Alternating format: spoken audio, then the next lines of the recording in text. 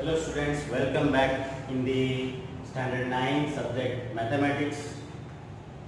This is chapter 1 number system in which uh, we are going on and uh, in last lecture we have seen example 1 and 2. Before that we solved exercise 1.1 also.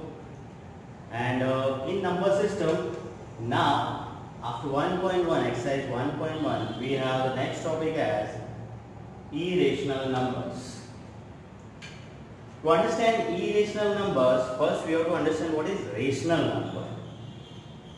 So here we have recalled something like uh, what is rational number? A number is called a rational number if it can be written in the form of P upon Q. In earlier classes also we have seen, but again we will note down it that what is rational number? A number is called a rational number if it can be written in the form of P upon Q where what is P upon Q? P and Q are integers with the condition that Q is not equal to 0. As you know that if Q will be 0, this integer upon 0 will be infinite and it will be undefined. So Q is not equal to 0 is the condition here. So what are the examples in this comes?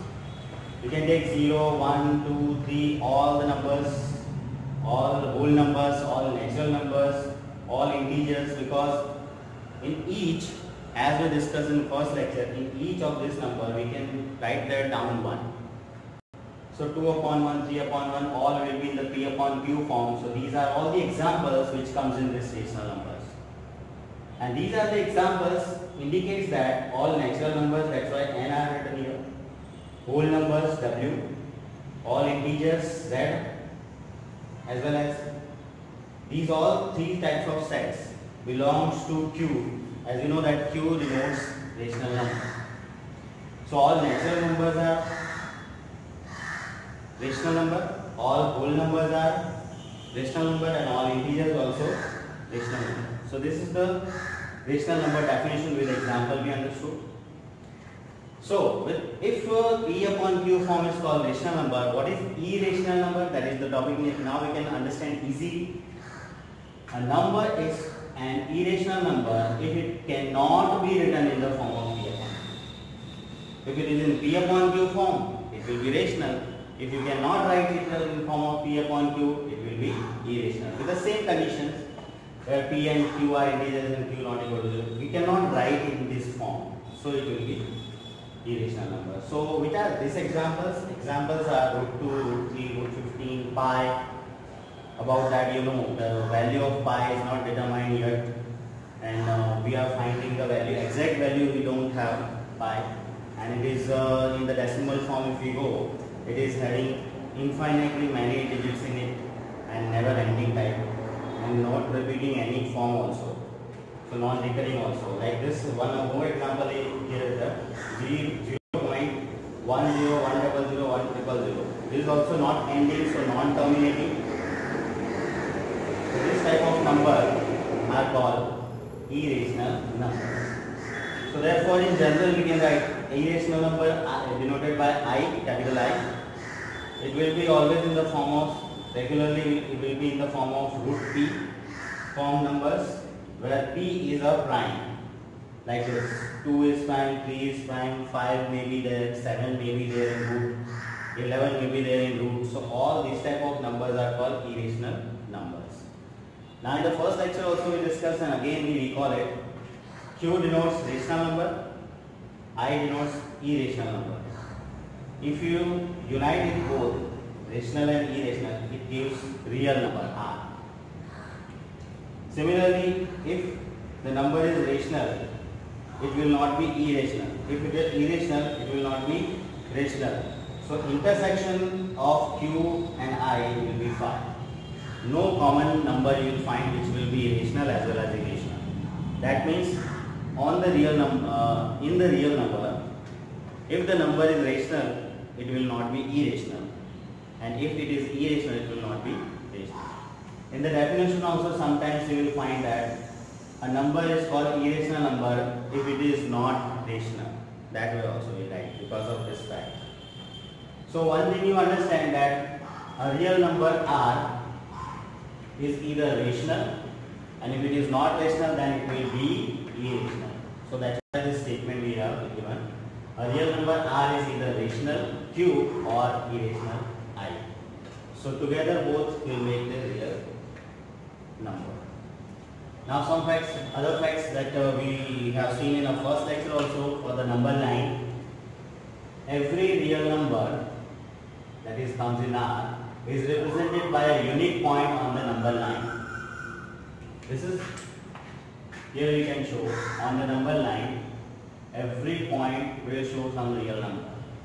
Like we are denoting 0, 1, 2 and minus 1 like that. This is the same thing here. Every real number that is suppose 1 real number is represented by a point. You can say this point as suppose you are giving name A. So on the number line you will find always a point which will have some real number with it.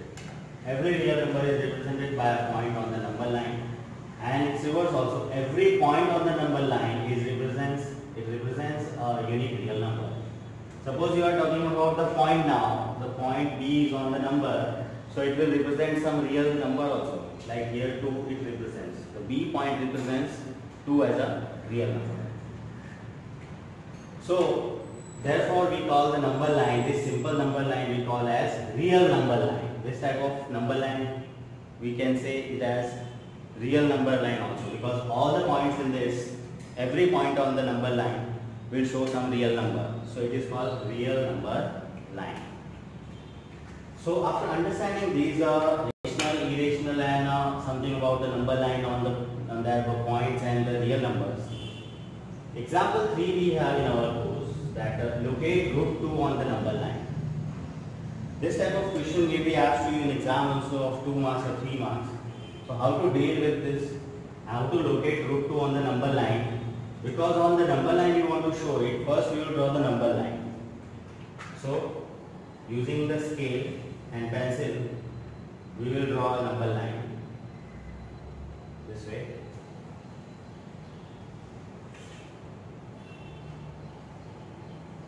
We will show the number line this way. And on that, as usual, you know, we place 0 here so on some definite distance, suppose uh, in inches I am taking.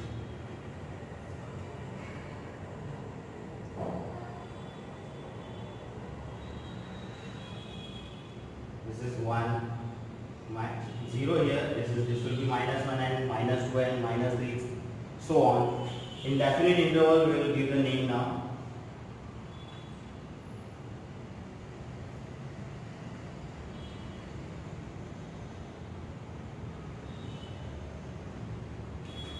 This is minus 1, 0. So this side we have 1, 2 and so on numbers we can show.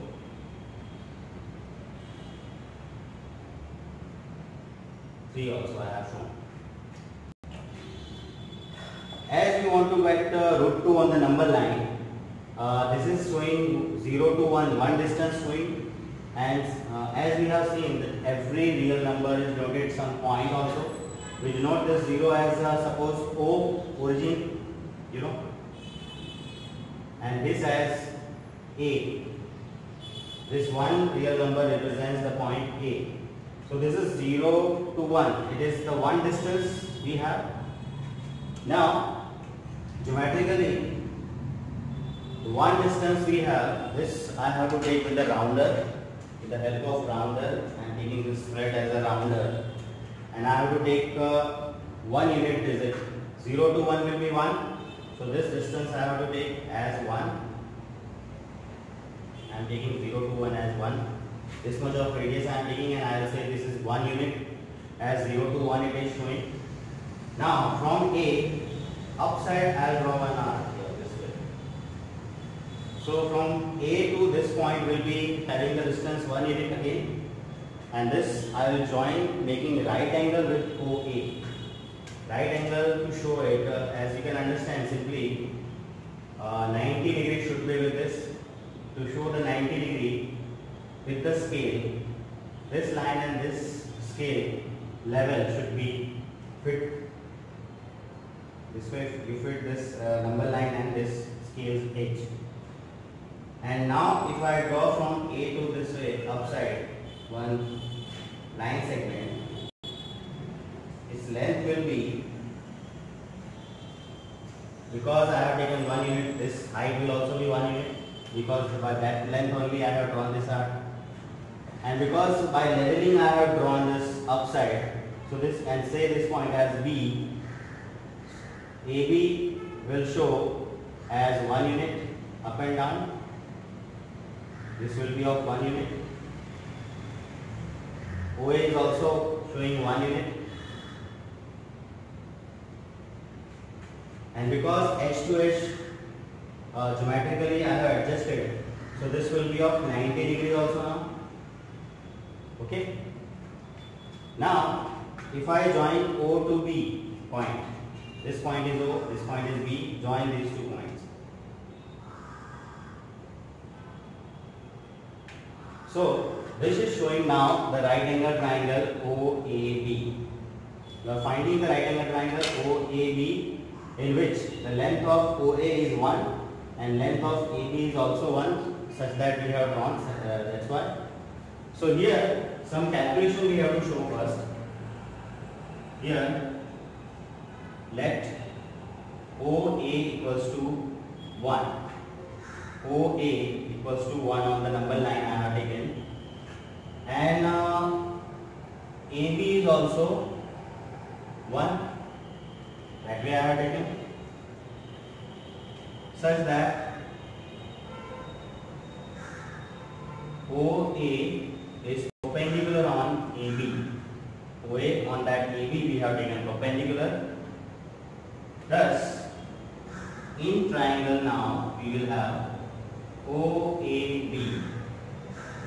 In triangle OAB, angle A equals to 90 angle A is equals to 90 therefore by Pythagoras theorem therefore by Pythagoras theorem you know that what is Pythagoras theorem in right angle triangle the square of hypotenuse is equal to the sum of the squares of the sides forming right angle here what is hypotenuse you know the side which is opposite to the right angle is hypotenuse. So OB we here.